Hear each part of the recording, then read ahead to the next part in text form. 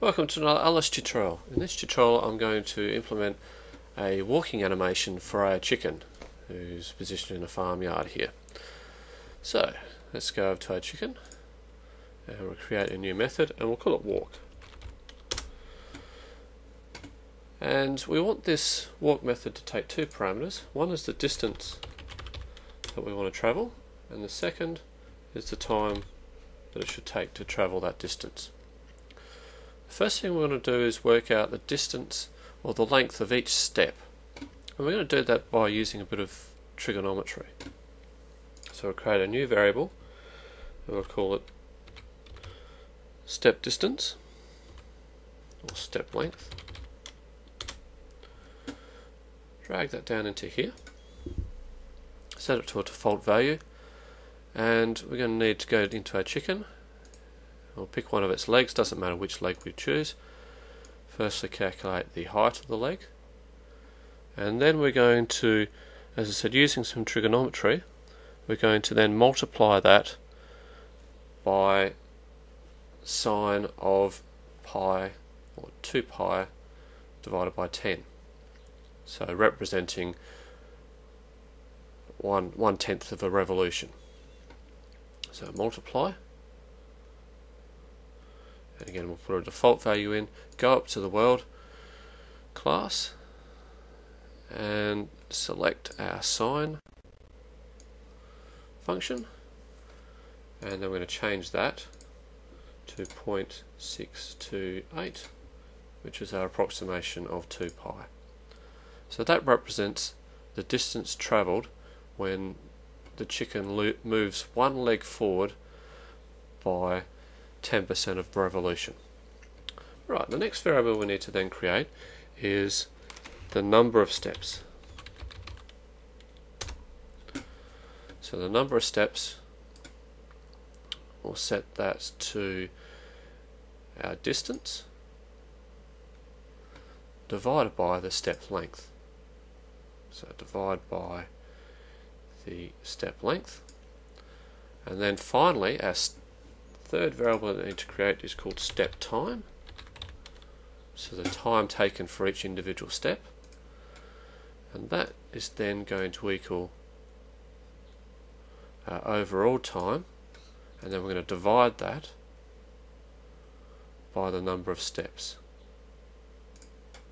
Okay, so that gives us the distance travelled after each step, the number of steps we need to do, and the time taken for each step.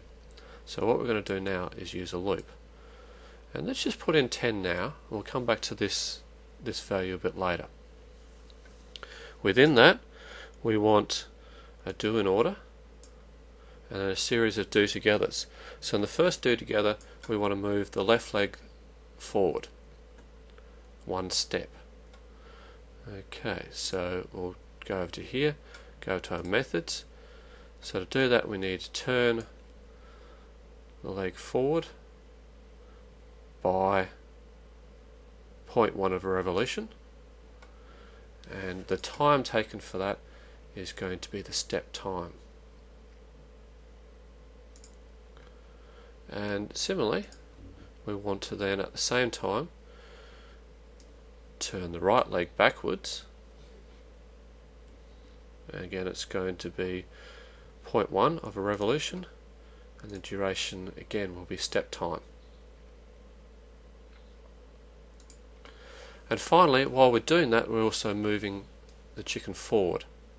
Oops, we want the entire chicken obviously this time. So move chicken forward and this is going to be the distance moved as we do one step and again the duration to be consistent needs to be step time. Okay, so that represents the left leg moving moving forward or bending, turning forward, 0.1 of revolution, and the chicken moving forward one step. So to complete that, we need to make three additional copies of this. So in this one, we're moving the leg backwards, and that one then goes forward. And again, this is going to be moving forward step length, and we need to again change all of these also to step time So duration step time and same with this one duration of step time. I'll make two more copies of these. Right, so the third step we can do the same as what we did previously. Again, change those to step time.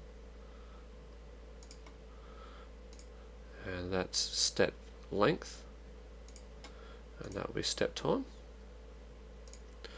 And then finally, we need to change these, reverse the order of these. So that's a backwards, that's a forward, that becomes a backwards. And again, fill all of these in with step time. That's step length. And again, step time. Okay, let's just quickly play that to see what it does. Ah, of course we need to call that within our, our method. So let's do that within my first method. Walk, and we'll walk forward 2 meters in 1 second.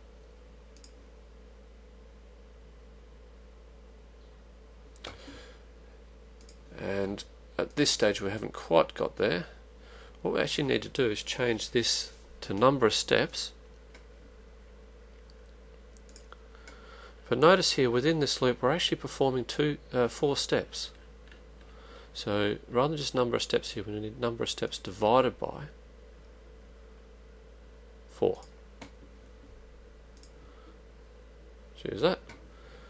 In that case we move forward 2 meters. Let's change that to say 6 meters and change the time to 3 seconds. and again we run that. And we should see in this case we're actually moving ahead a further distance. So good. Okay I'll wrap that one up now and we'll continue on with this in another tutorial